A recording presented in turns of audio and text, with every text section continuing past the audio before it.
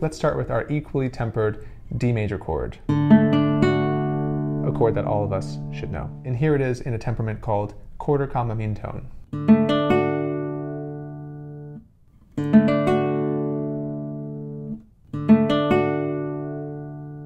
As you can actually physically see, uh, the frets are quite unequal. Some are spaced very far away, and some are very close. So I really hope you can appreciate just how gorgeous that D major chord in mean tone sounds. The reason it sounds so pure is because the major third, the distance between D and F sharp, is a pure major third now, as opposed to equal temperament, which was actually quite sharp the fret, you can actually physically see how far I've moved. It's like two millimeters down. That note was quite a bit painful and sharp.